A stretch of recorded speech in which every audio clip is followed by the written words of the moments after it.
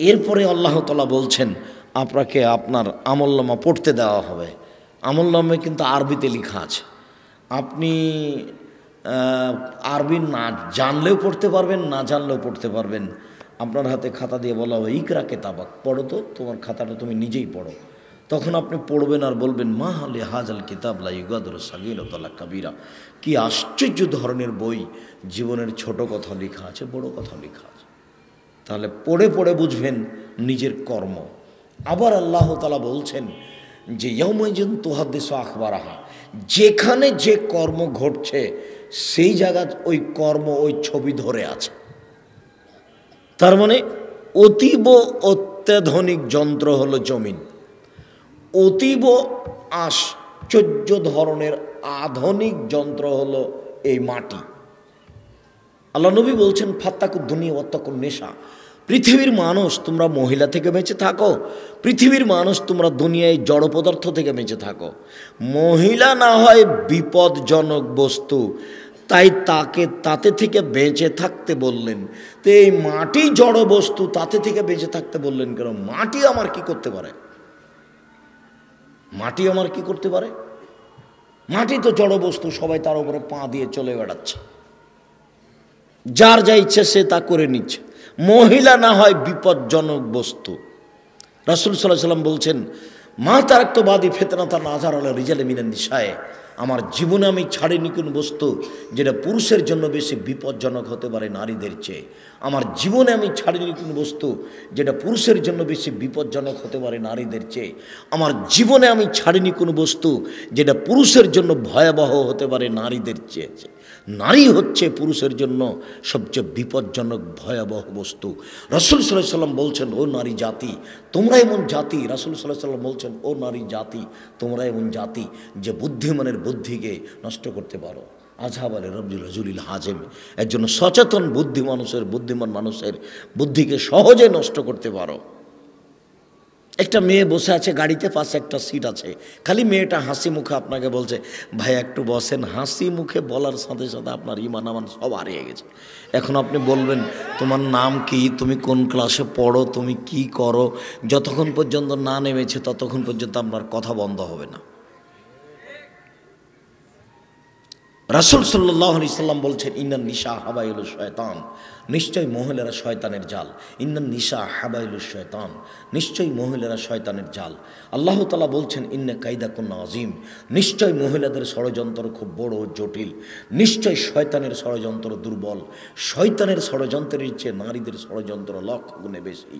জটিল কঠিন। এই বোকা ছেলে, তুমি তো মেয়ের সাথে কথা বলো, তোমারই তো মোবাইলের নাম্বার আছে মেয়ের। লজ্জা হয় না বোকা? তোমার তোমার ধ্বংস হবে তোমার বাপের ধ্বংস হবে, তোমার বংশের ধ্বংস হবে, তোমার জাতির ধ্বংস হবে, সবারই অপমান ঘনি আসছে খুব তাড়াতাড়ি। তোমার যদি এই কথা চালু থাকে তাহলে। তুমি কথা বন্ধ করো, তুমি চিনতে পারো নি নারী কি জাতি। উপস্থিত বৈঠকের মুসলিম বোন এই কথা বলে আপনার আমি, আপনাকে খাটো করিনি, আপনি মনে কিছু নিয়েন না। উপস্থিত বৈঠকের মুসলিম বোন, আপনাকে আমি শয়তান বলিনি। যদি মহিলাই শয়তান হয়, তাহলে খাদিজা রাজি আল্লাহ তালা আনহা কি শয়তান? নওজুবিল্লাহ মিন জালেক মহিলাই যদি শয়তান হয়, তাহলে আয়েশা রাজি আল্লাহ তালা আপনাকে তো আয়েশার মতো মনে করি, আপনাকে তো খাদিজার মতো মনে করি। জিব্রাইল এসে বলছেন আল্লাহ নবীকে আল্লাহ নবীকে জিব্রাইল বলছেন, আল্লাহ নবী শোনেন শোনেন শোনেন, ওই ওই ওই ওই একজন মহিলা আসছে, ওই যে খাদিজা, ওর হাতে একটা বাটি আছে, তরকারির বাটি আছে, আপনার কাছে তরকারি নিয়ে আসছে, শোনেন যখন মহিলা আসবে, খাদিজা যখন আপনার কাছে আসবে, তখন আপনি একটু খাদিজাকে বলে দেন তো। খাদিজাকে বলে দেন যে আল্লাহ তোমাকে সালাম দিয়েছে। তারপরে খাদিজাকে বলে দেন, খাদিজা জিব্রাইল তোমাকে সালাম দিয়েছে। তারপরে বলে দেন, খাদিজা তোমার জন্য জান্নাতে একটা ঘর বানানো হয়েছে, যেই ঘরে কোনো হইচই নেই, হীরা মুক্তা মানিক্য দিয়ে বানানো হয়েছে। হাদিস বোখারি, মুসলিম এদেশে একটা বই পাওয়া যায়, আদর্শ নারী। পড়ে দেখেন ওই বইটা। আমাকে আবার পড়তে বলিয়েন না, কিনে, যে আপনি লিখেছেন, আপনি কিনে পড়েন। বইটার নাম কি? আদর্শ নারী। দেখেন আপনি পড়ে। আমি আপনাকে খাটো চোখে দেখব কেন? আপনাকে খাদিজার মতো মনে করি। আমি যেটা বলতে চাচ্ছি, দেখেন আপনার পাশে একজন মহিলা বসে আছে, তার পেট পিট দেখা যায়। ওকে বলছি, এ হলো শয়তান। দেখেন আপনার পাশে আছে। এই মেয়ে এক মাথায় কাপড় নাই কেন? তোমার সরম হয় না কেন? তোমার বাপ নেই? তুমি বাপ ছাড়াই দুনিয়াতে এসেছ, লজ্জা লাগে তোমাকে এখন কথা শুনতে, খারাপ লাগে। আব্দুল রাজাক সাহেব তোমাকে কোনোদিন ছাড় দিয়ে কথা বলেনি, জীবনও বলবে না।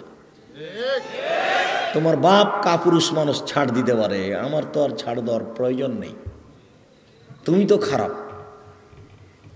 তোমাকে দেখলে পাপ হয়। যত পুরুষ মানুষ তোমাকে দেখবে, সবাই মিলে যত পাপ করবে, তোমার বাপ একাই তত পাপ করবে, তুমিও একাই তত পাপ করবা।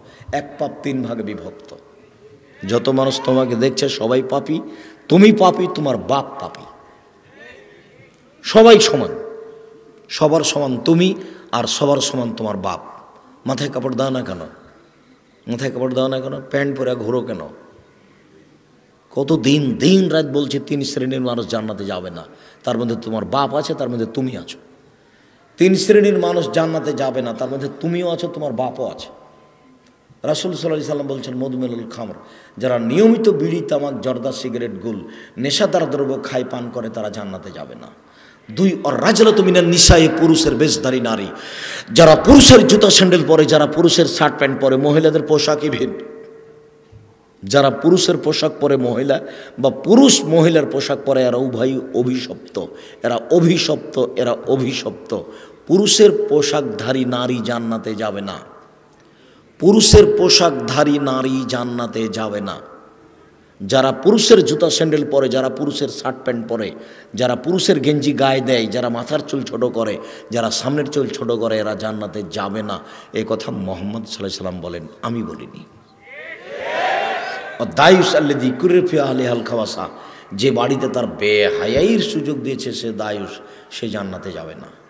সম্মানিত দিনী ভাই বোন বলছিলাম, নারীর কথা বলতে গিয়ে যে আপনি বুঝতে পারছেন না তার বিপদ, আল্লাহ তালা বলছেন, আল্লাহ রসুল বলছেন ফাত্তাকুদ্দুনিয়া অত্তাকুম নিসা। হে পৃথিবীর মানুষ, তোমরা মহিলা থেকে বেঁচে থাকো, আর এই মাটি জড় পদার্থ বস্তু থেকে বেঁচে থাকো। মাটি থেকে বাঁচতে বললেন কেন? মাটি কি করতে পারে? মহিলা না হয় বিপজ্জনক বস্তু। তাই বাঁচতে বললেন, সাবধান সাবধান। ইয়কুম দখলালে নিশায় মহিলা যেখানে আছে সেখানে যায় না। সাবধান, মহিলা যেখানে আছে সেখানে যায় না। সাবধান লাতাদখলুল মগিবাত। যেই মহিলার স্বামী নেই সেই বাড়িতে যায় না। সাবধান, যেই মহিলার স্বামী নেই সেই বাড়িতে যায় না। সাবধান, যেই মহিলার স্বামী নেই সেই বাড়িতে যায় না। তারপরে বলছেন সাবধান। নির্জনে কোনো মহিলার সাথে একাত্রিত হয়েও না। প্রাইভেট পড়াচ্ছে মাস্টার, তখন বলছে, বা, মাস্টার বাপ তুললো পড়াক না কেন? মাস্টার কোনো দিন আবার বাপ হয়? কম বয়সের যুবক মানুষ, তবুও নাকি বাপ তুলল মাস্টার সেই জন্য, তবুও নাকি বাপ? চট্টগ্রাম সিলেটে বিবাহের বৈঠকে উকিল বাপ বাপ। উকিল বাপই সেদিন থেকে বাপ মানে উকিল একটা বাপ ধরা লাগে বিবাহের বৈঠকে। সারা জীবন জন্ম দিয়ে মানুষ করল বাপ বেটিকে, বিবাহের সময় নিজের বাপ বাপ বাদ দিয়ে আর একজনকে বাপ ধরা লাগে। আশ্চর্য ধর্ম। ধর্ম যে কখন কখন পাগল হয়ে গেছে চট্টগ্রাম সিলেটে গিয়ে, কেউ বুঝতে পারেনি। ঢাকা তো থাকতে পারে। তবে তবে একটা কথা হয়তো বা হয়তো বা ঢাকা, নরসিংদী, নারায়ণগঞ্জ, গাজীপুর বৃহত্তর ঢাকায় উকিল বাপ আছে, এ কথা ঠিক। তবে উকিল বাপই বাপ হয়ে গেছে সেদিন থেকে। সেদিন থেকে উকিল বাপ তার বাড়ি আসবে, ওটা মেয়ে মেয়ে তার বাপকে নিয়ে যাবে। এইটা প্রথা নাও থাকতে পারে। তবে চট্টগ্রাম সিলেটে সেদিন থেকে ওটা বাপই হয়ে গেছে। তার সাথে আর পর্দা লাগে না, তার সাথে যাতায়াত করা লাগে। ওই লোককে বেটি হিসেবে দাওয়াত দিয়ে নিয়ে আসা লাগে, জামাইকে জামাইকে দাওয়াত দিয়ে নিয়ে আসা লাগে। বেটি আবার বাপের বাড়ি বেড়াতে আসে। ধর্ম কখন কখন ওখানে গিয়ে পাগল হয়ে গেছে।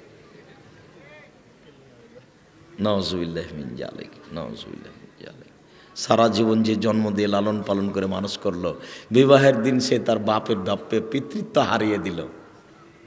উকিল বাপই হারাম। উকিল বাপ শব্দটাতে পেশাব করে দিয়ে উঠবেন আজকে। মুখে লাথি মেরে দিলাম। জীবনে বৃহত্তর ঢাকায় আর কোনোদিন উকিল বাপ হবে না।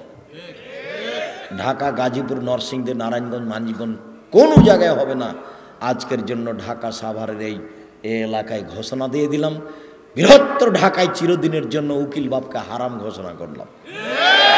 আর কোনোদিন কোনো বিবাহতে উকিল বাপ হবে না। সম্মানিত দিনী ভাই বোন